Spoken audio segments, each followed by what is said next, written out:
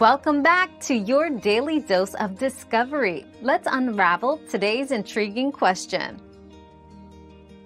After receiving your UK visa, immediately check the following details for accuracy.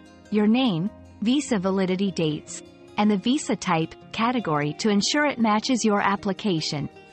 Also, verify if there are any conditions or endorsements. Errors can affect your entry into the UK or ability to work or study as planned. If you find any discrepancies, contact the visa issuing authority promptly to request a correction.